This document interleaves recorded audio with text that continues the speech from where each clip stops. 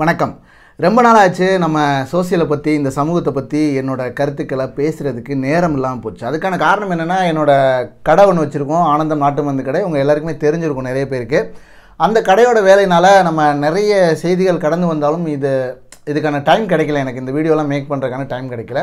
But ரொம்ப நாளாக ஒரு ஒரு மூணு நாளைக்கு முன்னாடி ஒரு செய்தி படித்தேன் இன்றைக்கி நம்ம பார்க்க போகிற விஷயம் வந்து கோபம் தாங்க இந்த கோபம் வந்து மிக அற்புதமான ஒரு உணர்வு அப்படின்னு நிறைய பேர் சொல்கிறாங்க பட் ஆனால் அதை எப்படி கையாளணும் அப்படிங்கிறது வந்து பல குடும்பங்களில் சிக்கல்களாக இருக்குது இப்போ ரெண்டு நாளாக பார்த்தீங்க அப்படின்னா இந்த கோபத்தை வச்சு பயங்கரமாக பேசிகிட்டு இருக்காங்க. அது என்ன பேசுகிறாங்க அப்படின்னா இந்த யோகா பண்ணால் கோபம் குறையுமா? அப்படிங்கிறது வந்து ஃபேக்கு அப்படிங்கிற மாதிரி சொல்கிறாங்க அதுக்கான காரணமாக உதாரணமாக அவங்க ரெண்டு சம்பவத்தை குறிப்பிடுறாங்க. அதில் முதல் சம்பவம் என்ன அப்படின்னா நம்ம நடிகர் சிவகுமார் அவர்கள் ஒரு தடவை மொபைலில் தட்டி விட்டுருவார். அவரோட அதாவது அவரை அந்த கூட்டத்தில் செல்ஃபி எடுக்கிறேன்னு போகிறப்ப அந்த மொபைலை தட்டி விடுறாரு. அனுமதி இல்லாமல் எடுக்கக்கூடாது அப்படிங்கிறது. அந்த செய்தி கடந்த சில நாட்களாக போச்சு.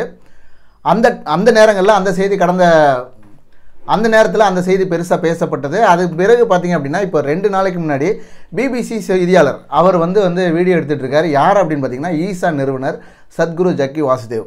இவங்கள வந்து வீடியோ எடுத்துகிட்டு இருக்கும்போது நிறைய கொஸ்டின்ஸ் கேட்குறாங்க பேட்டியில். அந்த பேட்டியில் அந்த கொஸ்டினுக்கான ஆன்சர் பண்ணும்போது அந்த கேமராவை ஆஃப் பண்ணிவிட்டு அந்த பேட்டியை க்ளோஸ் பண்ணுற மாதிரி காமிச்சிருக்காங்க. அது பிபிசி நிறுவனர் வந்து அந்த வெளியிட்டுறாங்க.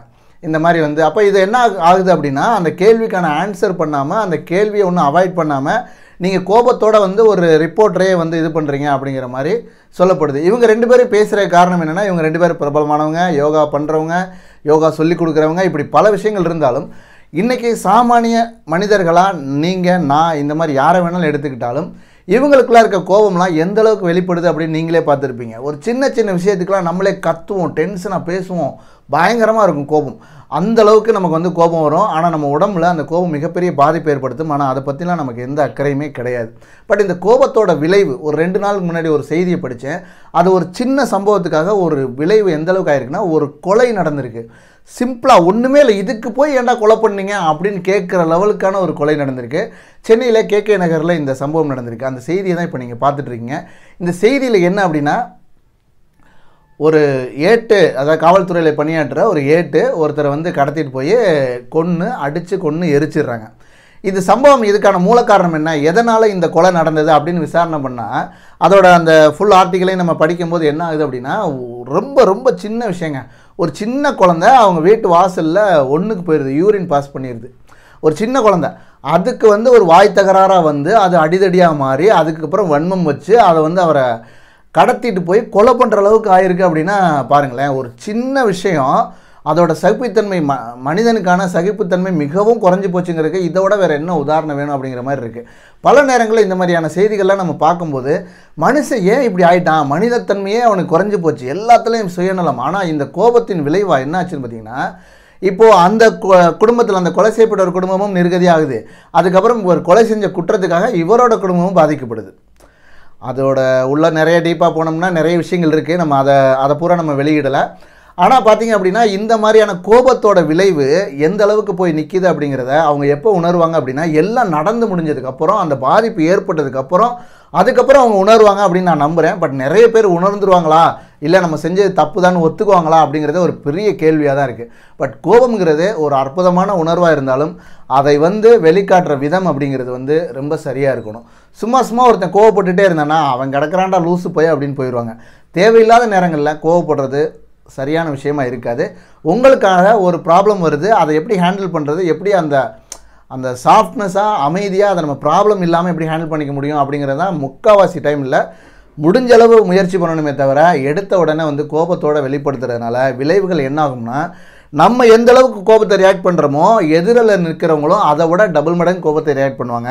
நமக்கு ஒரு சராசரியான வாழ்க்கை இல்லாமல் போயிடுவதற்கான வாய்ப்பு நிறைய நேரங்களில் இருக்குது அதனால் கோபத்தை வந்து நம்ம அவாய்ட் பண்ணுவோம். சிறப்பான வாழ்க்கையை வாழணும் அப்படிங்கிறது தான் என்னோட நோக்கம். கோபத்தை வந்து நம்ம அவாய்ட் பண்ணணும். சிறப்பான ஒரு வாழ்க்கையை இந்த மனிதர்கள் எல்லாரும் ஆனந்தமாக வாழணும் அப்படிங்கிறதான் நான் நினைக்கிறேன். பட் நான் முடிஞ்ச அளவுக்கு அதுக்கான முயற்சி எடுத்துகிட்டு இருக்கேன். பட் கோபத்தெல்லாம் விட்டுட்டியா அப்படின்னு கேட்டால் கண்டிப்பாக தெரியல. அது மாதிரி உங்களுக்குள்ள நீங்கள் உங்களை நீங்கள் பரிசோதிச்சு உங்களுக்கு நீங்கள் உங்களை நீங்களே பரிசோதனை பண்ணி பாருங்கள் எந்தெந்த நேரங்களில் நம்ம கோவப்படுறோம் மனைவிகிட்ட குழந்தைங்கள்கிட்ட இதே பாருங்கள் இந்த கோபத்தில் இன்னொரு விஷயம் இருக்குது முக்கியமான விஷயம். நீங்கள் உங்களோட உயர் அதிகாரிகள்கிட்ட கோவமே பட மாட்டீங்க. அதுதான் உண்மை. அவருக்கு நேரம் வந்து நீங்கள் கோவமே பட மாட்டீங்க. ஏன் அப்படின்னா அவர் ஏதாவது சொன்னால் நம்மளே நம்ம உள்ள மனசுக்குள்ளே திட்டுவோம் அவரை. கண் அப்படின்னா திட்டுவோம். ஆனால் அவர் மடே சரிங்க சார் சரிங்க சார். இதுதான் வந்து நம்மளோட கோபத்தோட தன்மையாக இருக்கும். ஏன் அப்படின்னா அவன் நம்மளோட பலசாலி நம்மளோட அவனுக்கிட்ட கோவப்பட்டோம்னா நம்மளோட வேலை போகிறதுக்கான வாய்ப்பு இருக்குது நம்மளோட ஊதிய உயர்வு குறையக்கான வாய்ப்பு இருக்குது இந்த மாதிரியான சந்தர்ப்பங்களெல்லாம் கணக்கில் வச்சுக்கிட்டு நம்ம அந்த நபர்கிட்ட கோவப்பட மாட்டோம். ஆனால் நம்ம மனசுக்குள்ளே பயங்கரமாக இருக்கும் வெறித்தனமாக இருக்கும். அப்புறம் அப்படியே அட்டிச்சிடலாம் போல இருக்கும். அந்த கோபத்தை எங்கே வெளிக்காட்டுவோம்னா நேராக வருவான். நம்ம கீழே ஒருத்தர் இருப்பான். அவனுக்கிட்ட நம்ம அந்த கோபத்தை வெளிக்காட்டுவான்.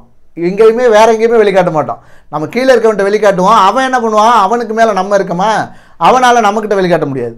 இப்போ என்ன ஆகும்? அந்த கோபத்தோடய அவன் வீட்டுக்கு போவான். தன்னோட மனைவிகள்கிட்ட குழந்தைகள்கிட்ட இந்த மாதிரி கோபத்தை ஏதோ ஒரு பக்கத்தில் வெளிக்காட்டிகிட்டே இருப்பாங்க. பட் நம்ம கோவப்படாமல் அந்த நேரம் என்ன நடக்குது அப்படின்னு சொல்லி நிதானமாக இருந்தோம்னா நம்மளோட வாழ்க்கையில் பல நேரங்களில் பல பிரச்சனைகள் வராமல் வாழ முடியும் அப்படின்னு நான் பார்க்குறேன் ஓகே இந்த செய்தியை உங்கள்கிட்ட பகிர்ந்துக்கணும் இதை பற்றி பேசணும் அப்படின்னு தான் நினச்சிருந்தேன். அதுக்காக தான் இந்த பதிவு. இந்த பதிவை பார்த்து நீங்கள் கோவப்படுற உங்கள் நண்பர்களுக்கு இந்த வீடியோவை ஷேர் பண்ணுங்கள் இது வரைக்கும் நம்ம சேனல் நீங்கள் சப்ஸ்கிரைப் பண்ணலைன்னா இப்போ ரெட் கலர் பட்டனை ப்ரெஸ் பண்ணுங்கள் பக்கத்தில் பிள்ளைகான் இருக்கும். அதையும் ப்ரெஸ் பண்ணிங்க மீண்டும் ஒரு நல்ல பதிவில் சந்திப்போம். நன்றி. வணக்கம்.